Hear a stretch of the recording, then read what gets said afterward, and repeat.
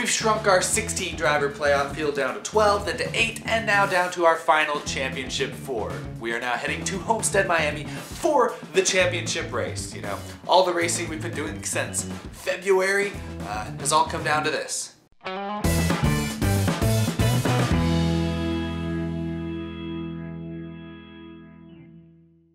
How's it going everybody? My name is Eric and welcome to Out of the Groove. The way I have it planned currently, this is the final episode of the regular season. Of course, I'll have some stuff after the playoff race, after the championship race to kind of talk about the outcome of that. And I have a bunch of stuff planned for the off season, but as far as the regular season goes, gosh, more than, what is it, like 38 weeks when you count all the exhibition races? We've been doing this show several times a week. That's like 100 episodes at least. I'd have to check. Some of you have been watching since the beginning, so credit to you. Today's episode is going to be pretty data heavy, pretty statistic heavy. I'm going to be looking at stats from all four of our championship contending drivers. Going to try to weigh my options and give you guys the best predictions I possibly can for this championship race at Homestead, Miami. So get your notebooks ready because I'm going to tell you how you can win that bet with Uncle Al or whoever. Let's start by looking at our final four competitors. That's right, after the wild, the surprisingly wild race at ISM Raceway, we're down to Kyle Busch, Kevin Harvick, Martin Truex Jr., and Joey Logano as the four drivers moving on. I mentioned a couple days ago how this is maybe one of your best case scenarios for a Final Four. There's a lot of drama, a lot of interesting storylines among these four. I mentioned how,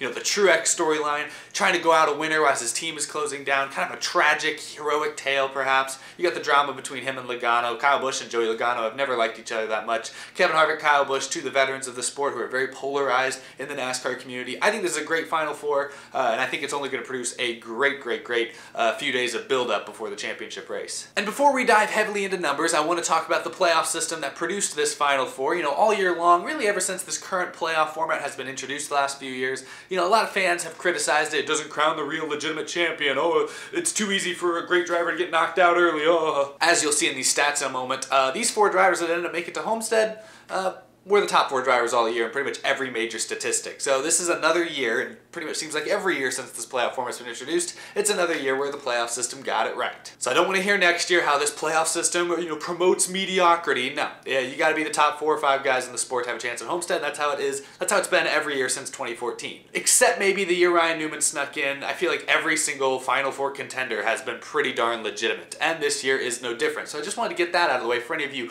playoff naysayers. But now let's look at some stats. I'll start with Joey Logano. He was the first guy to technically advance into the championship round after winning at Martinsville. You can see his 2018 season statistics right there, at least some of the most notable ones. Two wins, a 10.9 average finish, third best in uh, the Cup Series. I put this interesting stat, and I'm going to do this for all four of these guys, uh, his intermediate track finish. That's me. I went in and looked at every single finish he had at mile and a half racetrack specifically this year, and I averaged them out and looked at what we had. He didn't win any intermediate track races this year, any mile and a half races, uh, but he does have a very impressive average finish of 7.7. I think that's something that should be noted because Homestead Miami, the race track that we're going to be at this weekend for the championship, is a mile and a half intermediate. That's why I'm putting that stat up there. Joey Logano's stats across the board here, he's been very low-key this season. Only those two wins, and you know one of them was a restrictor plate race, but he's been quietly and calmly one of the top three most consistent drivers all year. That's how he got into this round, really, and that's why he's a guy you shouldn't take lightly at Homestead. Sure, he maybe doesn't show off the lightning quick speed that Kevin Harvick or Kyle Busch have been able to do on some weeks,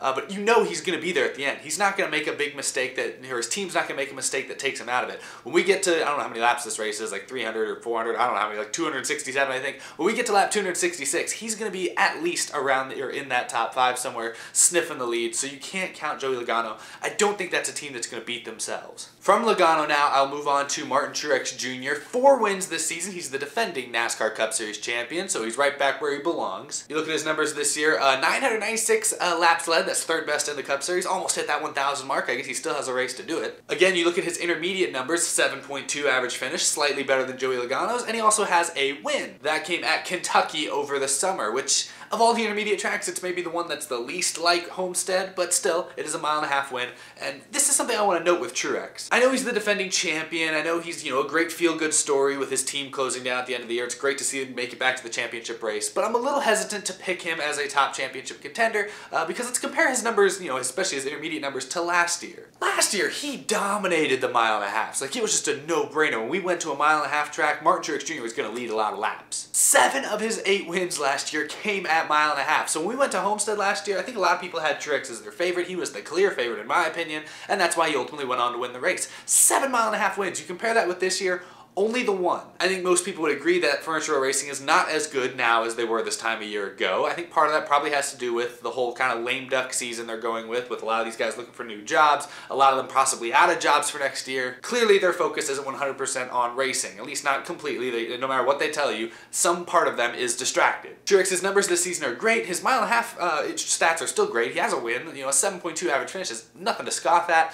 But the problem is, I'm just, you look at these next two guys. I don't think he's your championship favorite next year or for this year. Uh, he's just not. The numbers are not nearly as dominant as he was last year. So with that being said, let's look at Kyle Busch now, the other Toyota in this Final Four. Look at his numbers this season. Remember, last year in 2017, Kyle Busch also made it to the championship race, and he finished second to Truex in that battle. This year, though, you look at those numbers: eight wins. Oh my! His 8.4 average finish, without a doubt, leads the Cup Series. He's second in laps led, but look at those intermediate stats. Whew.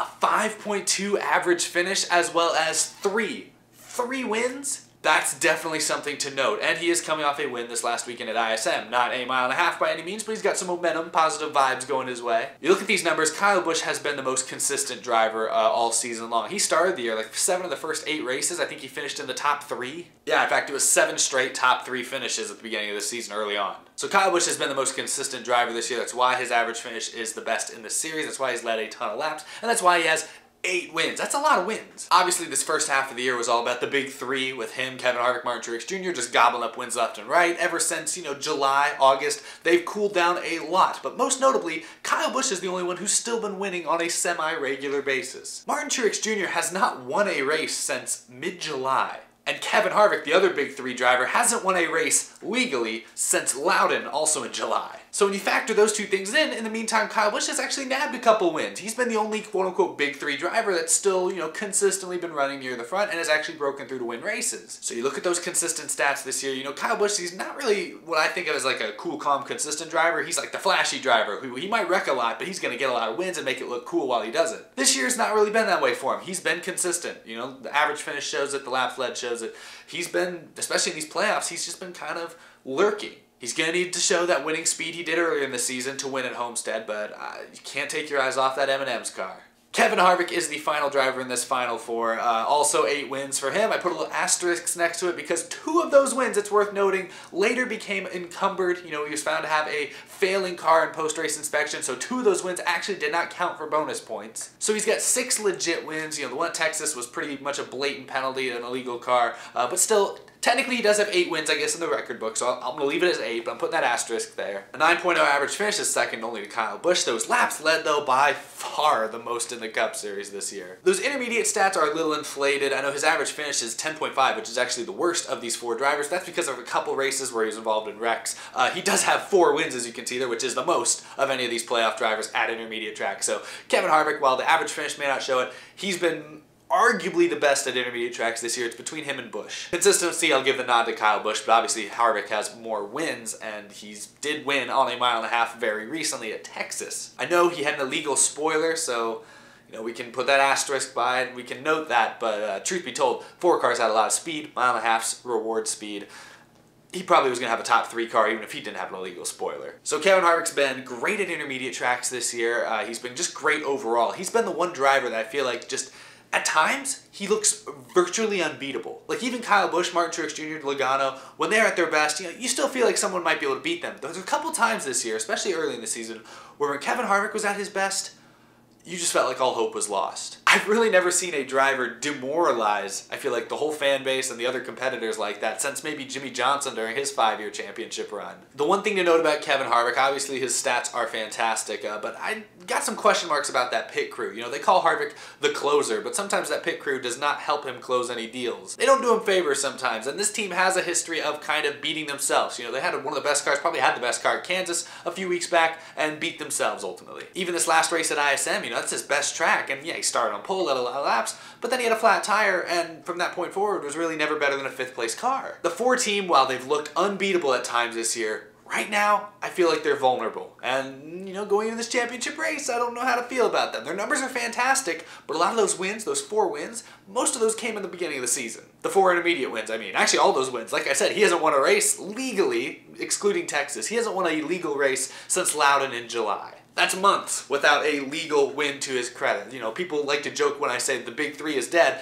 I'm basically giving you the stats to prove it. Big three has not been a thing since since July. So there you have it. I've given you the four uh, playoff drivers, their general 2018 stats. I want to look at their Homestead Miami stats briefly. I'll just throw them all up at the screen at the same time. You know, just give you their average finish, the amount of wins in their career, because they're all pretty even. Busch Harvick and Truex have all won at Homestead Miami one time each in their career. Uh, Logano has never won. There is a big disparity, however, when we look at average finish at this track. And I know there's a lot of things that factor into average finish. For, for example, Kyle Busch is, is highly inflated because he had three bad races in a row from his rookie season through his first two years in the sport. But there you see Kevin Harvick with a great career average finish at Homestead. He's been consistent here, so it's safe to say they're not going to, you know, miss the setup this weekend. I know he's got a backup crew chief, but they're probably going to have a good setup under him. He's not going to suck or something. I'd be surprised if any of these four drivers just miss the setup and run 20th all day. I expect them all around the top five, pretty much start to finish. But you can look at these Homestead Miami stats, you can factor them in a little bit. You know, the last few years, all these guys have been in the Final Four. Truex has been in it a couple times, Busch, Harvick as well. Logano's even been in it a couple times. Three of these guys on this list, Truex, Harvick, and Kyle Busch,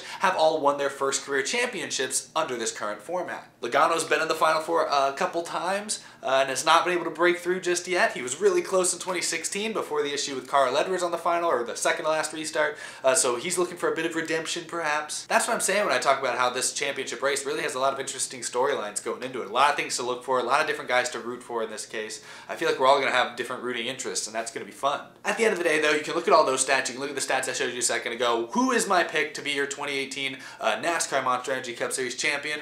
I'm going to stick with the guy I've been picking since since before the playoffs even started. Kyle Busch is going to be your 2018 champion. He's going to get his second career Cup Series championship. Uh, I think it's going to be competitive though. In the last few years with this format, I feel like every championship race there's like two clear favorites. Like last year it was Kyle Busch and Martin Truex Jr. and sure enough they ran 1-2. This year, however, I feel like any of these four could show up with the best equipment. I don't, I, I, just, I'm not confident. I'm not extremely confident in making one solid prediction. Like, I'm picking Kyle Busch to win, but I'll be honest, Kevin Harvick, I've showed you his stats. I could make a case for Kevin Harvick. He's going to be really good. I think Martin Truex Jr. is going to be really good. I think Joey Logano is going to be really good. They've had time to work on their equipment since uh, since their win at Martinsville. I just feel like these four drivers, it would not surprise me if they finish first through fourth. I feel like this is the most even championship race field we've had since this format was introduced in 2014. But anyway, like I said, Kyle Busch is my pick. He was my pick before the playoffs started. Uh, he's been up and down, hit or miss in these playoffs. He hasn't shown as much winning speed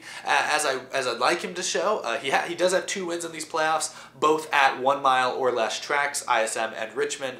This is a big fast track. He didn't show a whole lot of speed at Texas. He had, you know, issues on pit road and stuff, so we never really got to see how good that car was. So that's got me a little concerned. But if he can bring it back that speed he had early in this season, he's been great at Homestead in his past. Uh, he almost won this race a year ago.